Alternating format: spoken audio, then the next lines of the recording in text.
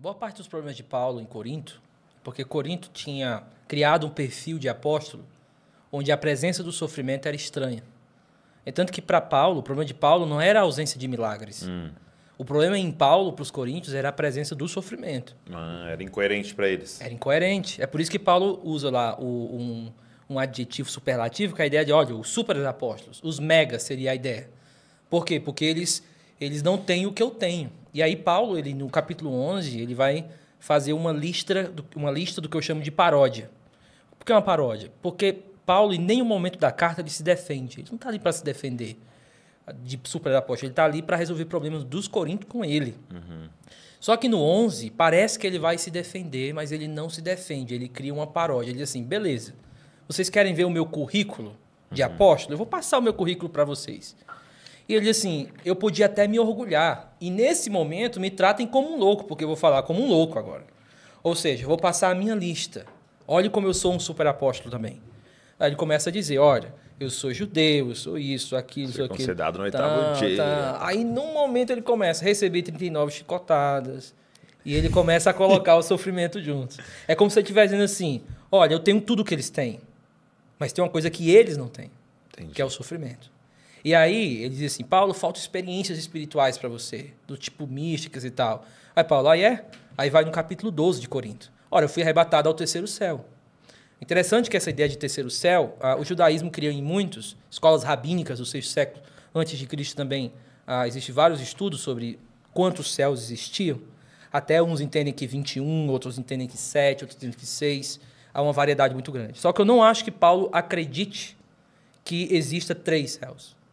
Eu acho que ele está falando a crença dos coríntios, do tipo, vocês querem que eu tenha ido ao terceiro céu? Eu fui ao terceiro céu. Ou seja, eu fui numa dimensão celestial. Se você quiser chamar de terceiro céu, amém, é terceiro céu.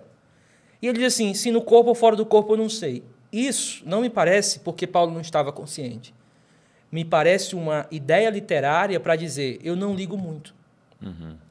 É tanto que depois ele vai dizer, e esse homem, também não sei quem foi, se no corpo ou fora do corpo, Uhum. ele começa a falar um bocado de coisa sem detalhes. Só que quando ele começa a entrar no espinho da carne, aí ele começa a detalhar muito bem. Entendi. Ora, Há foram- esse contraste. Ah, esse contraste.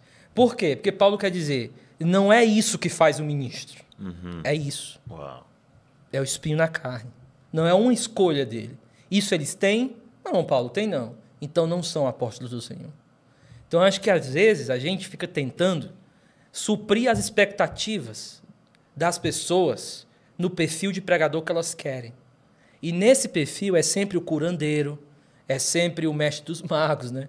É sempre o cara que está ali para resolver todos os seus E tanto problemas. que ele se escandaliza com você falar do seu sofrimento. Você Perfeito. falar, estou em depressão, Perfeito. é, é um escândalo, né? Ou é, falir, sei lá. É, é um escândalo, né? Ainda há uma teologia da prosperidade muito enraizada em nós, né? De que Deus vai responder com bênçãos é, humanas, a nossa forma de ver bênçãos, né? é a nossa obediência, né? Perfeito. É, Perfeito. por isso que o Chega de Regras destrói, né? Aham. Fica a dica aí. Chega de regras. Acho que acabou, tá, viu? Você não dá pra fazer mais. né? Então eu acho que Mas, mas é, uma coisa interessante de você estar falando é esse. é, eu, eu, eu entendi o que você estava dizendo. É, nós precisamos assumir o sofrimento. isso. Porque é, um erro que a gente comete e que você citou, né, é não, não, não está acontecendo nada. Não, não, não, não, não está doendo não. Não, não, eu não estou triste não. E a gente vai indo, né, e, e você, né, você vai é, suprimindo aquilo, escondendo, jogando embaixo do tapete, vai chegar uma hora, aquilo vai vir para fora, né? E eu estava em Portugal e o, o pastor lá, o João Martins, pastor muito gente boa, e ele é um psicólogo também. E ele falou assim pra gente é, sobre quando Jesus cura aquele homem, né? É, 38 anos lá, no tanque de Bethesda, ele fala: toma sua cama e anda. Né? E, e ele falando sobre isso, usando isso como uma parábola ali, e falando assim: é, é como que ele- se ele estivesse dizendo: pega aquilo que te carregava e você carrega isso agora. Mas não deixa para trás. Não finge que você nunca teve numa cama. Perfeito. Deixa as pessoas verem você com uma cama. Qual é a diferença? Isso me carregava. Agora eu carrego isso. Isso aqui eu era escravo dela, mas agora ela é serva minha para contar um testemunho, né? Então eu queria te agradecer por você tá- ter aberto isso pra gente aqui, porque é, é isso, é pegar a minha cama. E todos nós temos uma cama, né? Sim. Todos nós temos uma cama, todos nós vencemos algo, estamos vencendo algo e tal. E isso é, pode servir de. Isso é uma pregação, né?